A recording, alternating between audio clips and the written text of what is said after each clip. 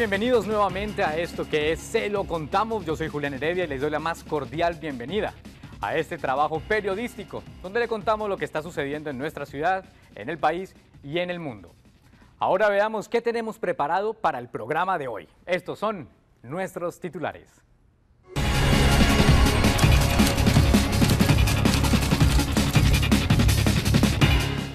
Hoy en Se lo contamos, la situación del desempleo en Estados Unidos. Nos acompañará en el estudio la instructora Julia Solís, quien nos hablará acerca de cómo deben de educar los padres a sus hijos. Además, una insólita ciudad de enanos. En deportes, el Piojo Herrera hace cierta prohibición a sus seleccionados. Y en espectáculos, la polémica sobre la reciente presentación que revivió a Michael Jackson en los premios Billboard. Todo esto y más en Se lo contamos.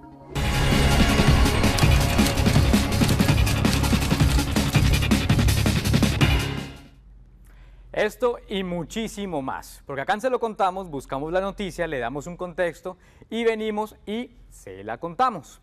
Muy bien, vamos a entrar entonces con la información. Últimamente nos damos cuenta que en Estados Unidos los empleos cada vez son más difíciles de conseguir y de pronto muchas personas hasta hace unos días estaban buscando la manera de cómo recibir ayuda del gobierno. Veamos la siguiente nota.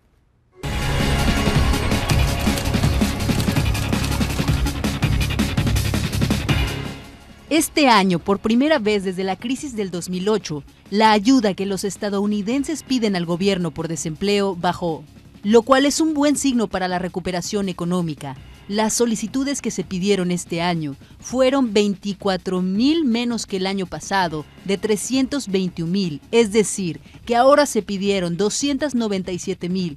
Estas cifras no se veían desde el 2007. Si tomamos en cuenta que las solicitudes de desempleo son un indicador de los despidos, el descenso de estas cifras es una prueba de que los empleadores prescinden de menos puestos de trabajo. Las solicitudes semanales alcanzaron un máximo de 650 mil en marzo del 2009, durante la gran recesión. Los despidos han descendido en un 5% en los últimos dos meses, aumentando las esperanzas de que las contrataciones pudieran cobrar fuerza.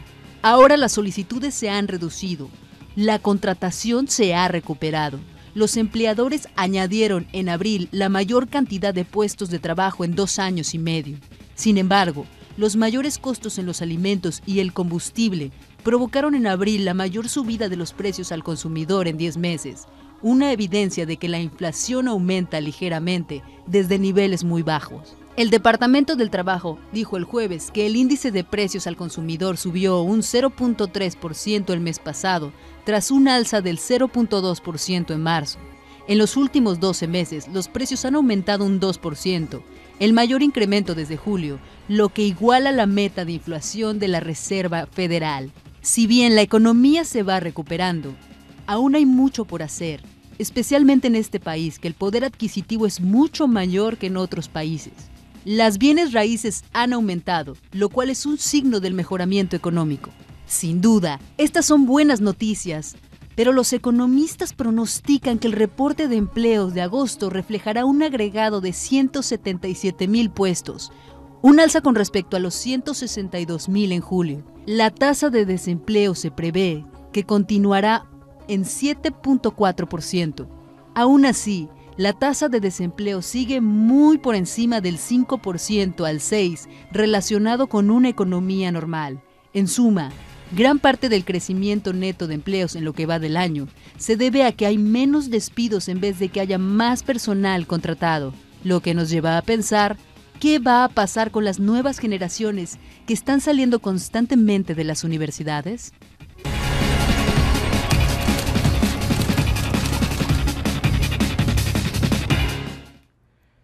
Es increíble pensar que hasta hace algún tiempo la mayoría de personas que estaban pidiendo esta ayuda del gobierno eran los afroamericanos. Ahora los hispanos entran otra vez a ser parte de estas personas que de pronto están buscando forma en que el gobierno les ayude cuando no se tiene un trabajo estable. El consejo es, si tiene su trabajo, cuídelo. No se quede dando solamente el 100% de lo que le dan de usted el 110, 120, 130%, de ese paso más allá, para que no tengamos que engrosar estas listas de personas que tenemos que estar pidiéndole ayuda al gobierno, por brazos caídos, por no tener un trabajo fijo del cual poder mantener a nuestras familias. Pensemos en esto, ¿cuántos americanos y cuántos afroamericanos en este momento piden esa ayuda al gobierno y cuántos latinos están en esa lista? Pensemos nomás en ese detalle. Por el contrario, y por otro lado, vamos a hablar ahora de algo muy interesante. Vamos a estar hablando cuando volvamos de comerciales de la forma como los profesores llegan con un nuevo dinamismo, una nueva forma de enseñar, porque no le enseñan solamente a los pequeños, también a los papás. Retornamos con una entrevista en exclusiva con Julia Solís. Cuando regresemos, esto es Se lo contamos.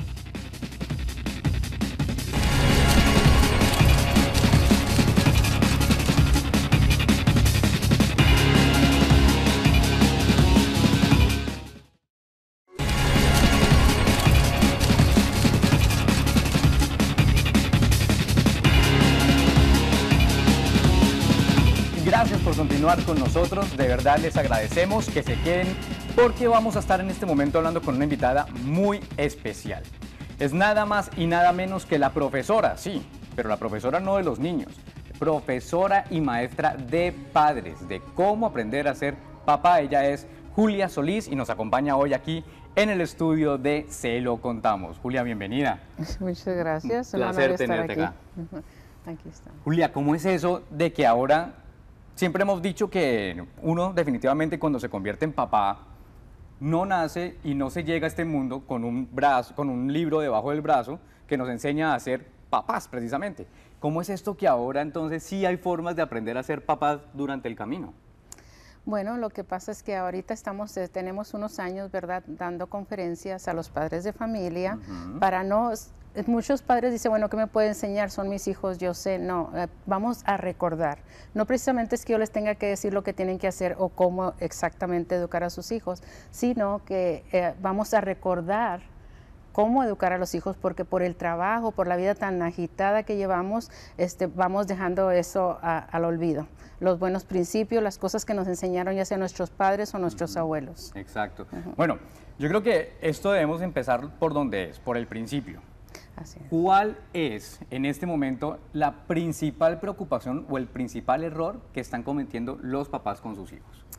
Eh, el problema más grande que he visto en los últimos años es que dejan mucho tiempo a los niños solos. Hmm. Okay, los dejan mucho tiempo a los niños solos. Ellos me dicen, bueno, es que hay que trabajar. Sí, se entiende que hay que trabajar, pero tiene que sería excelente que cambiaran el horario, ya sea uno o el otro, si fuera posible, para pasar más tiempo con los niños. No descuidar a la familia y tener buena comunicación cuando se sienten juntos a comer, no uno en la sala, el otro en la cocina, el otro en su recámara, juntos a comer para poder platicar qué, qué está pasando con cada uno. Bueno, hay dos aspectos importantes que has nombrado hasta el momento. Uno es el dedicar un poco más de tiempo a nuestros hijos y para eso hay que hacer algunos tipos de sacrificios, como lo que nos decía Julia, de cambiar ese horario.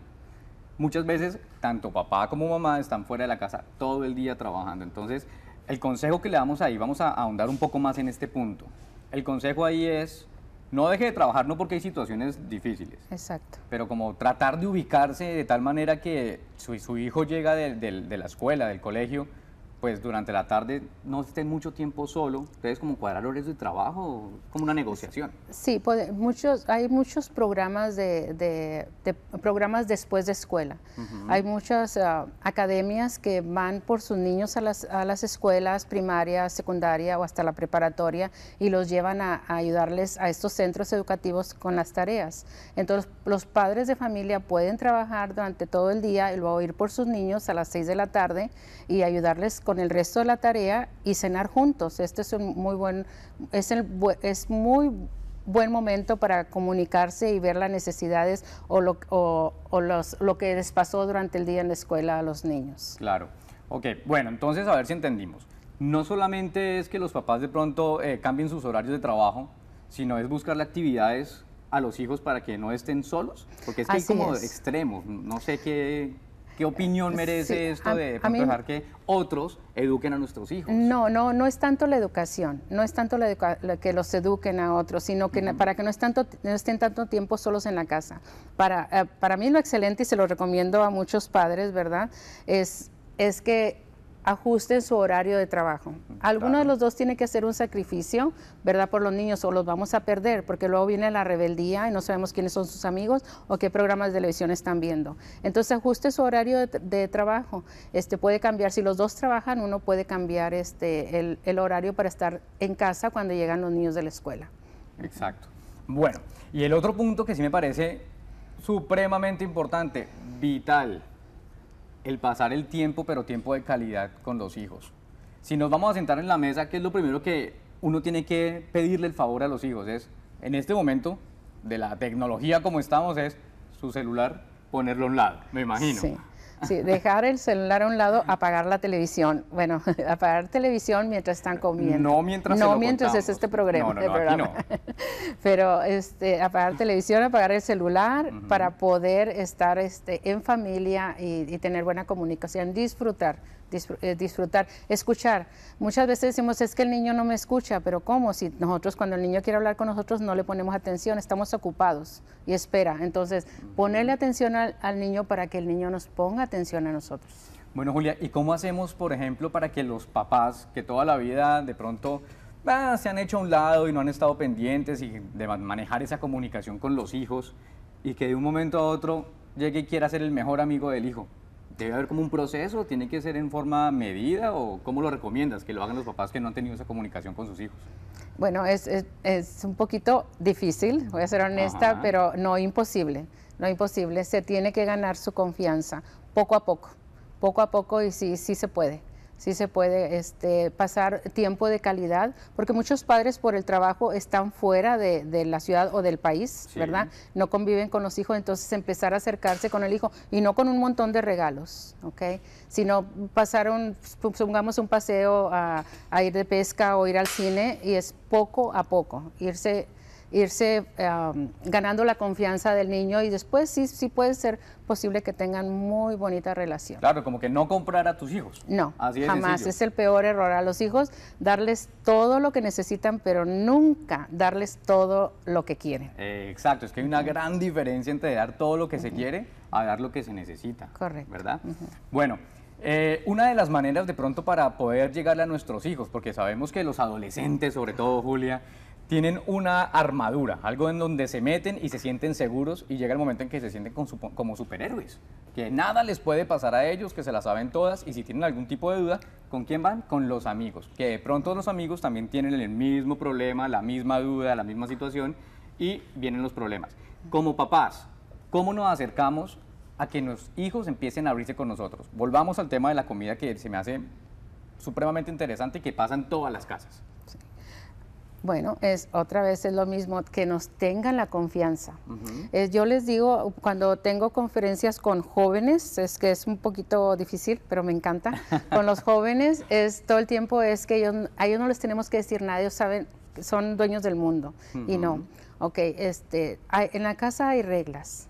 El amigo, si yo me voy con mi amigo, el amigo te va a escuchar o te van a tener en la casa el amigo dos o tres días y vas de regreso a tu casa. Entonces trata de tener una buena, una buena comunicación con tu padre, con tu mamá y este y, y, yo se les aseguro, porque tengo familias que han tenido éxito, que se sienten que están perdidos y ahorita después de tantos años me llaman y me dicen que están muy bien y está la familia muy unida. Y todo comenzó por la comunicación. Comunicación. Una sana comunicación en el hogar.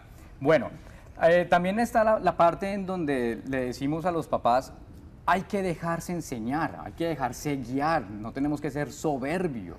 ¿Cuál es el mensaje que le podemos dar a esos papitos que nos están viendo en este momento y dicen, ¿cómo me van a enseñar a mí a ser hijos, como dicen por ahí? es, es, es, difícil y me he topado en lo personal, no con las señoras, sino con los señores. que están dando duro, Sí, en plena, en plena clase se ponen de pie y me dicen, ¿y usted?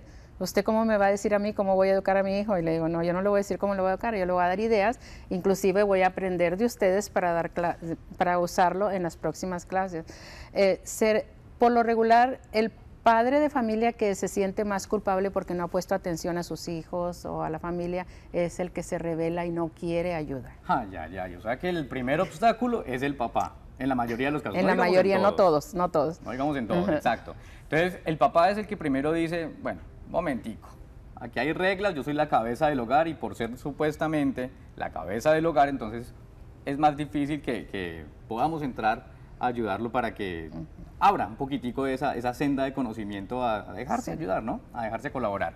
Bueno, ¿cuál es el segundo obstáculo que tú has visto cuando te llega una familia que de pronto ha tenido una serie de problemas ya con un hijo? Porque también hay familias que no han tenido problemas con hijos. Es una gran diferencia entre dos familias. Por lo regular, las familias que me han llegado con problemas con los hijos, eh, primero, como lo dije anteriormente, es porque los han dejado solos. Y otro, este, porque les dan todo lo que quieren. Como ya hablamos, le dan todo lo que quieren. Ah, los, um, les por cualquier cosa, aunque tengan la responsabilidad, si viven en casa, tienen que este, hacer su, su su recámara. tienen que, sí, muchas tienen que tener sus responsabilidades y todavía los papás les pagan. Les pagan con juguetes caros o la tecnología ahorita que, que ni yo estoy al, al, tanto de todo lo que tenemos ahorita y les dan esos regalos. Después los quieren controlar y somos los papás más malos del mundo cuando ya no les damos lo que ellos, lo que ellos están pidiendo. Es bien difícil. yo les recomiendo fuertemente que no les den este, todo lo que quieren a los hijos. Denle tiempo, denle tiempo de calidad. Exacto. Bueno, esa es una diferencia de las importantes. Cuando los papás dejan de ser papás buenos a ser papás responsables. Vamos a hacer un pequeño corte, pero cuando regresemos vamos a ver esa delgada línea y esa diferencia entre los papás buenos y los papás responsables. Seguimos con Julia Solís acá en Se lo contamos, ya regresamos.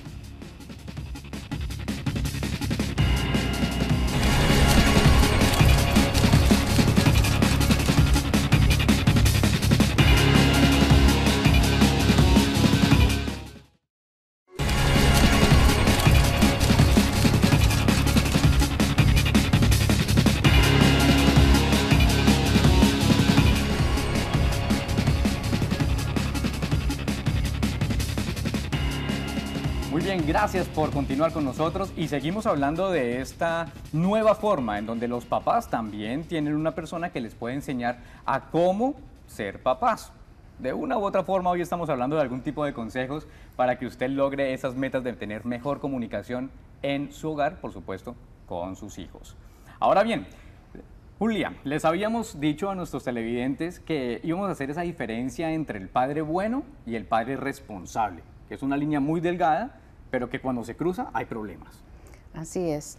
El padre bueno es aquel uh, padre familia que, que, provee todo lo necesario para la casa, que trabaja y trae, y cubre los gastos y este de completo de la casa y la familia. Estamos hablando de ropa, comida, este, uh, luz, agua, teléfono, medicina, todo, pero no está ahí cuando el padre se necesita.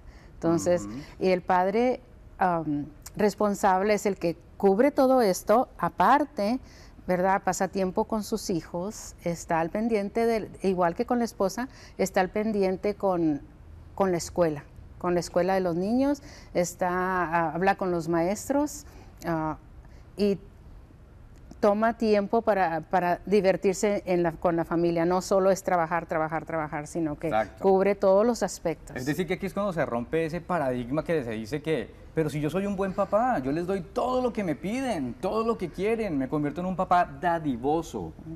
Y ahí es cuando comienza uno de los problemas fuertes y serios y es que, papá, que yo quiero un aparato de videojuegos, tome su aparato de videojuegos, que yo quiero, no sé, una nueva tabla para montar, tome su tabla. O sea, muchos regalos materiales uh -huh. y que el papá de pronto confunde esto de ser un padre bueno con un padre responsable en el momento en que dice, yo todo se lo doy a mis hijos. Uh -huh. Peligroso.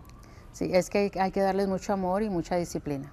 Mucha Estamos disciplina. hablando, hablando de disciplina, no de abuso físico, cuidado. Por favor, ¿eh? sí, no. Es este, este, disciplina, mucho amor y mucha disciplina, darles todo lo que los hijos necesitan y, este, uh -huh. y proveer las necesidades de la familia. Así es. Bueno, y el papá responsable, por otro lado, es el que sabe decir no. No, así Y cuando es. dice no, lo dice con mucho cariño, con mucho amor y lo más con... importante, da un porqué. Exacto. Hablemos de ese por qué sí. el no. Exacto, siempre tiene que haber una explicación. No podemos decirle a los niños, a los jóvenes, no, ¿y por qué no? Porque ya te dije que no, yo soy tu papá. Que no, yo soy no. tu papá. Entonces eh, te empieza la rebeldía. No, es que no se puede por esto, por explicarle el por qué no se puede. Y sin levantar la voz, sin alzar la voz. sea que esos papás que les gusta de pronto subir el tono, hay que controlarse, respirar un poquito, tomarse su tiempo y con mucho amor explicar el por qué no se hizo lo que el niño quería, pero por supuesto haciéndolo entender al pequeño, ¿no? Para que no sea algo como impuesto, como algo forzado. Y es importante que nos, eh, nos, tengan este, un temor de respeto, no un temor de terror. Oye, interesante eso. Interesante. ¿Cuál es esa diferencia o esa línea delgadita que puede eh, caer en el temor del miedo total como con el del respeto porque es mi papá? porque eh, muchas veces eh, la persona, mm, principalmente los, lo, principal, otra vez, me van a linchar los señores, principalmente los, los, señores llegan cansados del trabajo, bueno, trabajan tanto para proveer a su familia y en el momento en que llegan, pues las quejan, ¿no? Las quejas, la señora ya se quejó del niño, de la niña y el niño, papá, yo quiero que me compres y el señor voltea y no le dice, no, hijo, ahorita no podemos, sino que, no, le empieza a gritar, entonces ahí es donde... Estoy cansado, es terrible.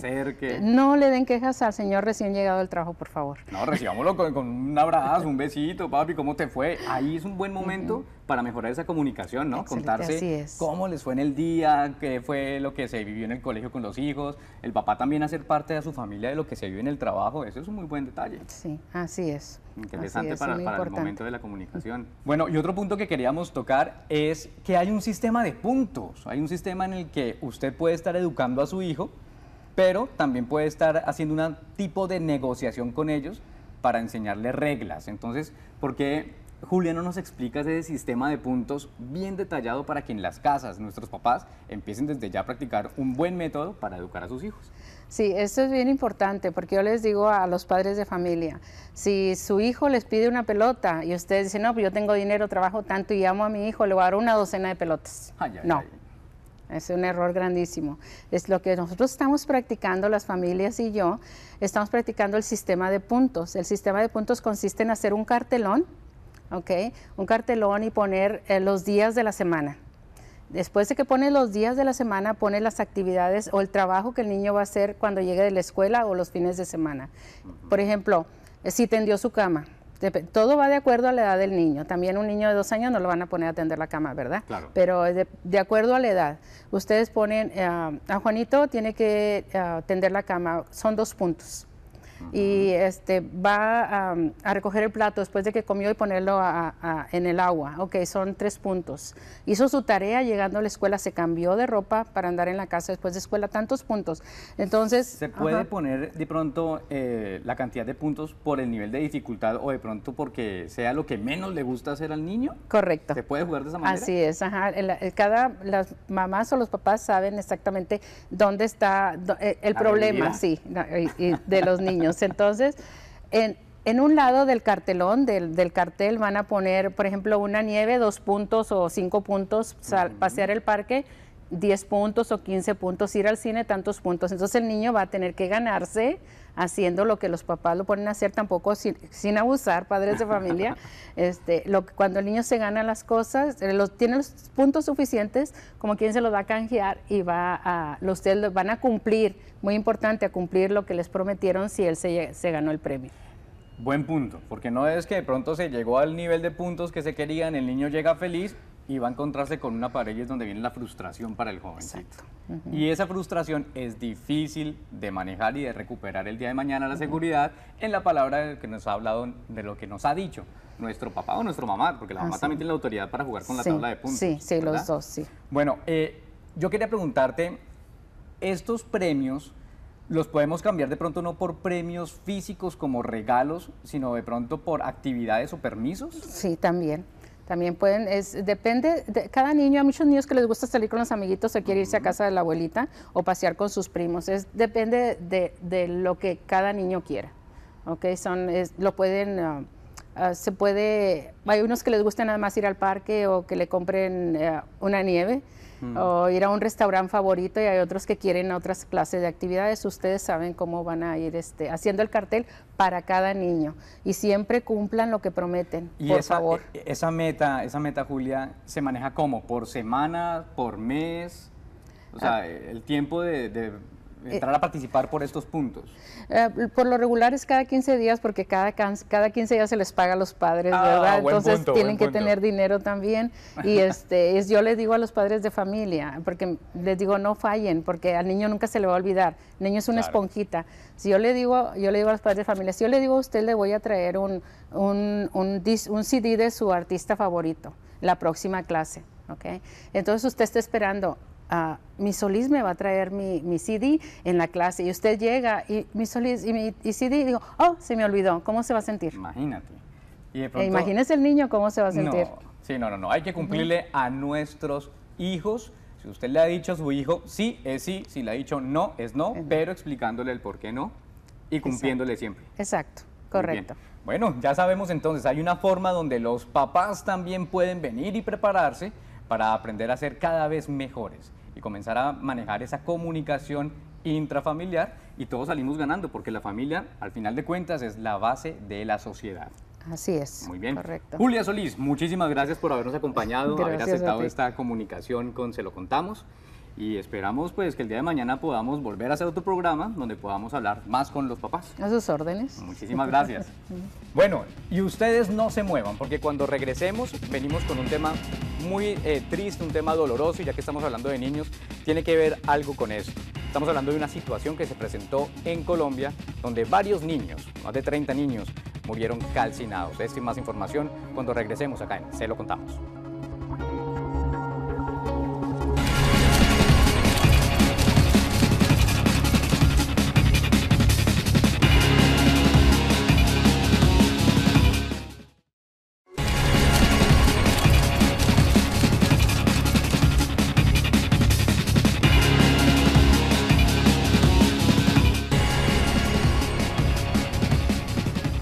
Y retornamos, retornamos y no retornamos con una información muy agradable. En Colombia, debido a un accidente y una falta de precaución, más de 30 niños perdieron la vida. Esta es la información.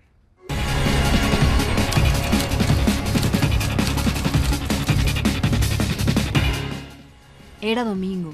Los niños regresaban a casa después de participar en actividades bíblicas impartidas en uno de los cinco centros de la Iglesia Evangélica Pentecostal, en Fundación, un municipio de la costa del Caribe, cercano a la villa natal del fallecido Nobel Gabriel García Márquez, la famosa Aracataca. Pero el incendio del autobús en el que viajaban 52 personas fue inminente. Murieron 33 pequeños, la mayoría entre 4 y 8 años de edad. La Fiscalía colombiana imputará cargos por homicidio culposo agravado al conductor Jaime Gutiérrez. Se le atribuirá el mismo delito a quien contrató el servicio de transporte, Manuel Salvador. Ambos fueron presentados ante un juez en la ciudad de Santa Marta, departamento de Magdalena, 750 kilómetros al norte de Bogotá. Versiones extraoficiales indican que el conductor habría manipulado gasolina en el interior del vehículo, que terminó en llamas. Según la Fiscalía General, el conductor del autobús, antes del accidente, habría realizado la conversión de gas a gasolina del vehículo, mientras los niños se encontraban ahí.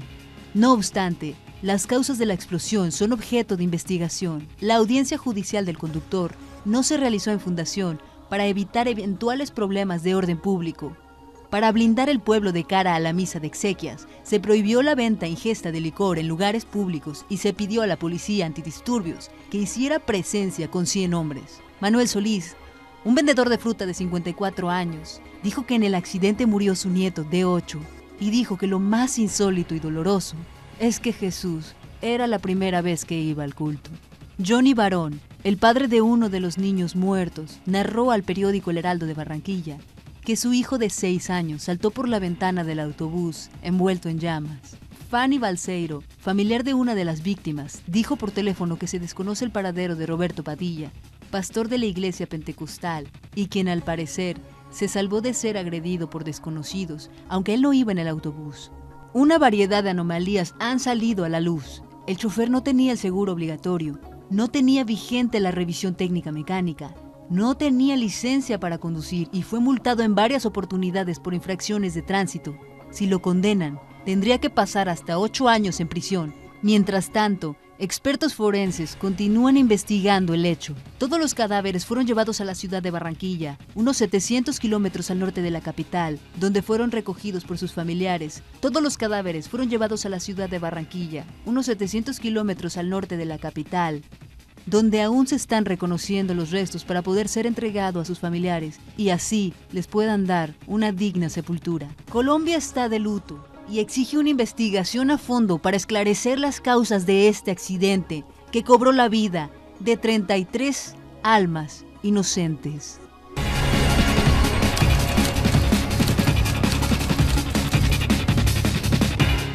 Lo último que se ha sabido en este caso es que el conductor del autobús y el pastor o líder espiritual de la iglesia a la que pertenecían estos pequeños, los dos ya están tras las rejas, ya están en la cárcel y se teme que esto pueda volver a repetirse debido a la situación y el mantenimiento de los vehículos que usan en los pueblos alejados para transportar a los menores. El gobierno ya está mirando esta situación con lupa y esperamos que no se vuelva a repetir. Desde acá acompañamos en su dolor a todas estas familias que perdieron a sus seres queridos. Y por otro lado de la información, les tenemos algo que tiene que ver también con pequeños, pero no pequeños de edad, pequeños de tamaño. ¿Una ciudad acaso de los mal llamados enanos? Miremos la nota.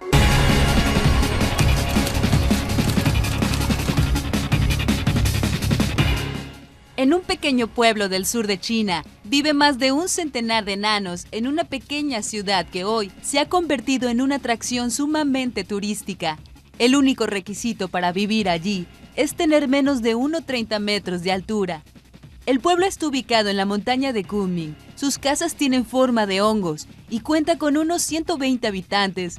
Dentro de su organización, los pobladores poseen su propio equipo de bomberos y policía. A diferencia de otras ciudades del país, ellos no se dedican a la fabricación de imitaciones, sino al turismo. Los enanos realizan espectáculos, ofrecen comida, cenas e incluso para dar más colorido al lugar, viven en setas de colores vestidos como guerreros, magos, elfos o bailarinas. Están empleados allí 600 enanos que reciben el equivalente a 147 dólares al mes, una cantidad muy superior a la media de los salarios del país. Más comida y alojamiento, se ve que las setas están incluidas. También reciben entrenamiento de baile y lecciones de inglés. Dado que en la ciudad solo viven enanos, no existe discriminación respecto a ellos. Sin embargo, fuera de esa ciudad, parece que sí, ya que las condiciones son duras para ellos en China. De hecho, parece que la mitad había considerado el suicidio antes de ir a vivir al parque temático, y muchos de ellos han aprendido a luchar para defenderse. La insólita fundación comenzó cuando un grupo de enanos decidió huir por discriminación y debido a la superpoblación del país, lo cual impide que existan puestos de trabajo para las personas que padecen esta anomalía. Un claro ejemplo de convertir un pequeño problema en una gran oportunidad.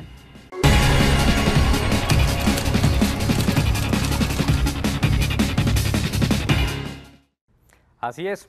Una nota que puede parecer de pronto hasta graciosa, pero que en su fondo tiene un sentido social muy fuerte, donde ellos tuvieron que formar su propia comunidad, donde la policía, los bomberos, la seguridad, todo es al tamaño de ellos.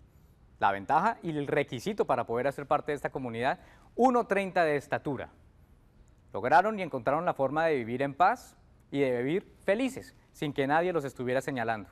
Una buena lección para el resto de la sociedad. Vámonos al entretenimiento cuando regresemos de comerciales porque Karina Nova nos trae toda la información del mundo del espectáculo. Cuando regresemos, esto es Te lo contamos.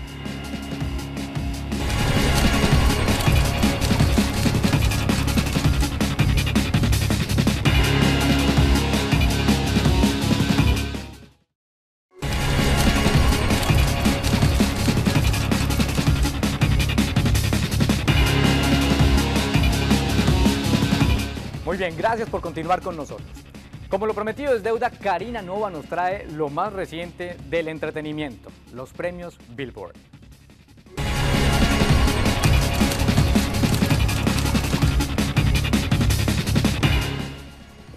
Hola Julián, muchas gracias. Pues vamos con la información de los espectáculos. Como saben, recientemente se llevaron a cabo los premios Billboard, uno de los más importantes en el mundo de la música y maravilloso fue volver a ver a Michael Jackson en el escenario, quien presentó su segundo disco póstumo a su muerte llamado Escape interpretando la canción Slave to the Rhythm, acompañado de 16 bailarines y 5 músicos. Fue espectacular volver a ver al rey del pop bailar de esa manera como solamente él lo sabía hacer. Pero sabían que esa presentación pudo no haberse llevado a cabo y es que hubo una demanda de por medio.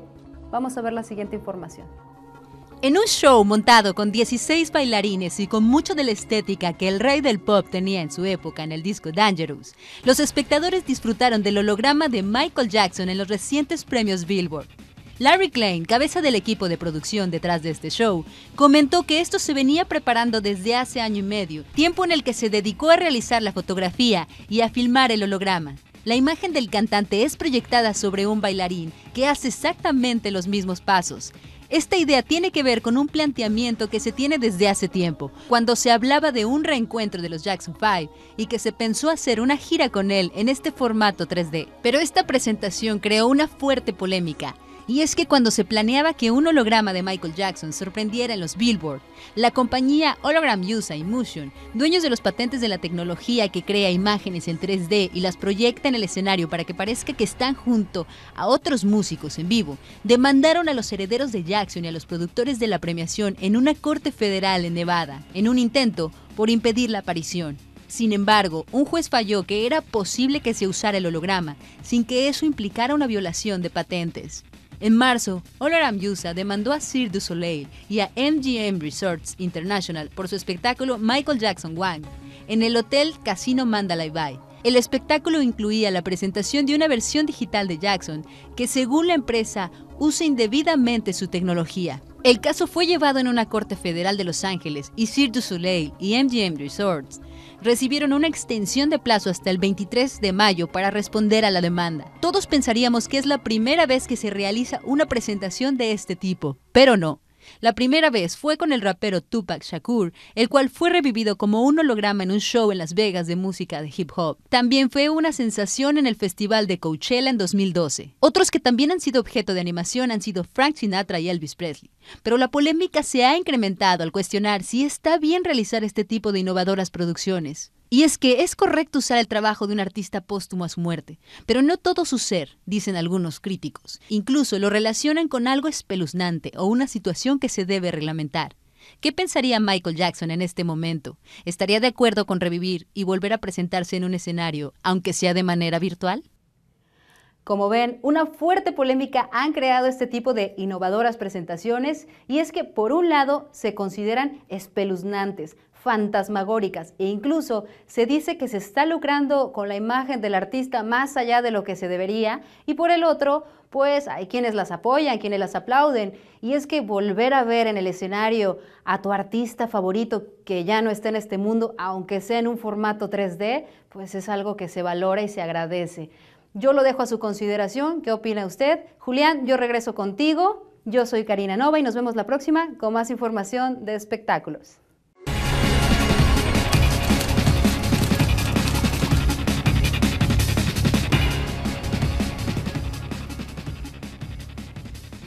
Muy bien, y continuamos en Se lo contamos y llegó el momento de toda la emoción deportiva. Claro, contado desde una manera diferente a como usted lo ve en el resto de lugares y noticieros donde le dan la información de los deportes.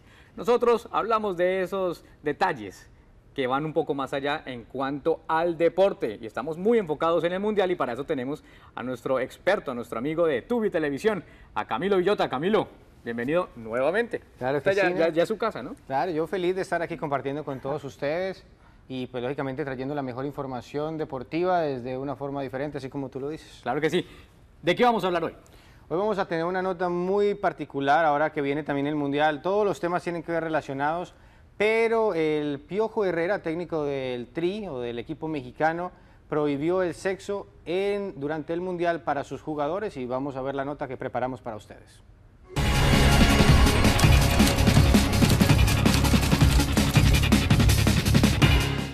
El Piojo prohíbe relaciones sexuales a los jugadores del Tri en Brasil. Los jugadores de la selección mexicana sí tendrán un límite de actividad sexual durante el Mundial. Deberán abstenerse completamente de tener relaciones el mes que dura el torneo, dijo el técnico del Tri, Miguel Herrera. Herrera señaló que quien no pueda aguantarse un mes sin sexo no está preparado para ser un profesional. En la prohibición, el entrenador incluyó a todos los casados. Estas nuevas declaraciones de El Piojo contrastan con las que hizo en abril pasado cuando aseguró que la actividad sexual para los seleccionados no tendría límite mientras no ocurrieran en las horas previas a un partido y no se desgastaran con un maratón sexual. El estratega tricolor dijo que se enfocarán exclusivamente en el Mundial y que los futbolistas no deben ocupar su cabeza en otra cosa porque en Brasil pierdes un partido y te vas del Mundial. El director de la Comisión de Selecciones Nacionales, Ricardo Peláez, dijo el mes pasado que el sexo no era un tema tabú entre ellos, ya que incluso habrá tiempo libre en el que algunos jugadores estarán con sus esposas o novias que los acompañen en el viaje. Otro estratega mundialista que se ha pronunciado sobre las relaciones sexuales durante el torneo es el timonel de Brasil, Luis Felipe Scolari, quien vio con normalidad la actividad entre sus jugadores mientras se haga de manera equilibrada. Especialistas en el deporte y sexualidad aseguran que si hay de 10 a 13 horas de diferencia entre las relaciones sexuales y la competencia, no hay una alteración en el rendimiento del atleta, aunque clubes que prefieren mantener lejos el sexo de una concentración. Este fue un reporte especial para Se lo contamos de Camilo Villota.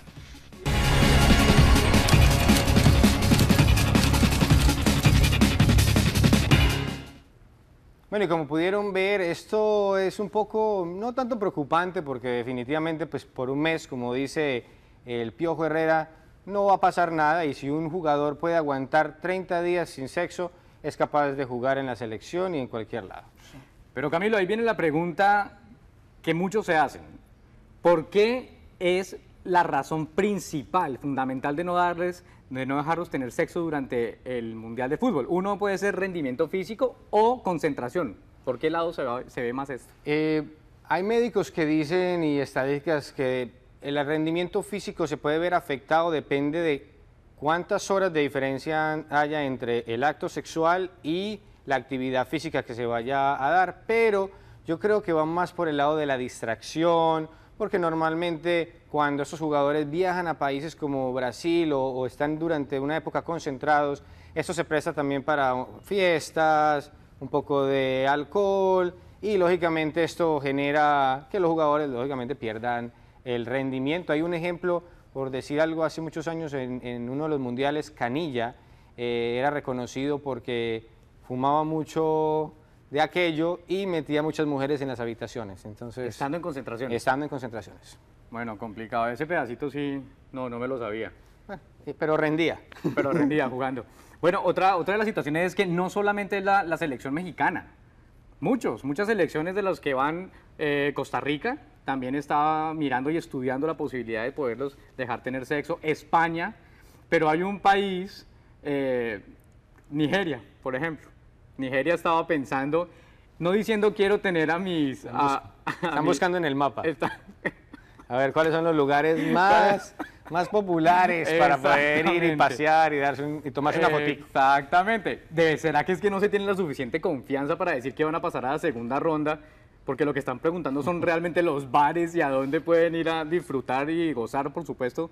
Sabemos que Brasil es un lugar de, de mucha rumba, pero no sé, ¿usted cree, Camilo, que tiene sentido ir a un mundial y pensar en eso? Ellos van es por el turismo, lógicamente. ellos saben. Acabó con la selección. Nos van a cerrar el programa, Camilo. No, no, no, no estoy hablando de ese tipo de turismo. Estoy hablando de que Brasil es un país muy hermoso y también tiene muchas atracciones donde pueden ir a conocer y, lógicamente, aprovechar el mundial para pasear y pues tomarse una fotico. La pregunta es, Colombia, ¿usted qué cree? ¿Los dejarán tener relaciones sexuales o no los dejarán? Eh, yo creo que Peckerman no tiene ningún problema con eso, los jugadores tienen una buena personalidad en esta selección y yo creo que ellos van enfocados en lo que quieren. Tengo entendido que Peckerman está autorizando a que las familias viajen con la selección. También eso es una forma de, buena de controlar un poco eso, porque si traes a la familia, la familia va a estar más interesada en que el jugador rinda que en distraerlo. Entonces es una buena técnica, pero pues eh, por decir algo, Brasil, ya Escolari dijo que él no tenía ningún problema con eso desde que lo controlaran y lo mantuvieran. Bueno, igual son los locales, ¿no? Sí, no hay ningún Pero bueno. toda la información que se puede dar alrededor del Mundial. Es que no solamente fútbol, estamos hablando de muchas cosas que juegan al entorno realmente de lo que hace la fiesta grande del fútbol. Claro que sí, ¿no? Eso es un fenómeno mundial, la cantidad, millones de personas viajan a este, a este tipo de eventos, eh, no solamente por el fútbol, sino también por la, eh, el atractivo turístico, la fiesta, todo lo que esto abarca, pero bueno, vamos a ver qué sucede. La Y- samba. La samba, claro, por supuesto. Muy bien. Bueno, Camilo, se nos termina el tiempo. Eh, muchas gracias por estar con nosotros, tener esa información. Vas eh, preparando a ver qué nos trae para el siguiente programa, ¿no? Claro que sí, no, ya lo tenemos preparado y vamos a estar hablando sobre los cinco deportes más extraños del mundo. Cinco deportes más extraños del mundo. Les voy a dar un avance rápidamente. Eh, el primero va a ser carrera de con esposas. Con esposas, no de, de las que nos arrestan, sino la con- esposa, la con señora. la esposa, sí señor. Bueno, Vamos a ver. deportes. Se nos termina el tiempo, Camilo, muchas gracias. A ti por la invitación y muchas gracias a todos. Muy bien. Y recuerden que la cita ya está hecha. Aquí en Se lo contamos. Se nos termina el tiempo, pero gracias por dejarnos entrar en su casa para mantenerlo a usted bien informado. De una manera diferente, viendo las noticias y dándoles el contexto de la misma. Soy Julián Heredia. Nos reencontramos en una próxima oportunidad. Recuerde pasar tiempo, pero tiempo de calidad en familia. Que el Señor los bendiga. Chao, chao.